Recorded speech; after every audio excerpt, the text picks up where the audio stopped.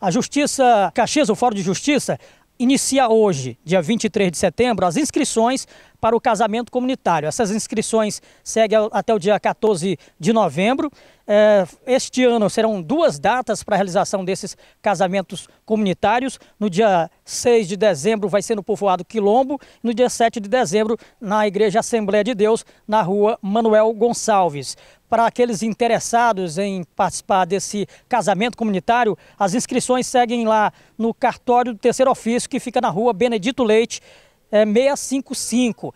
Claro que tem que levar toda a documentação, cópias e originais. Se for menor de idade, a autorização e a verbação dos pais para que possa participar desse casamento comunitário.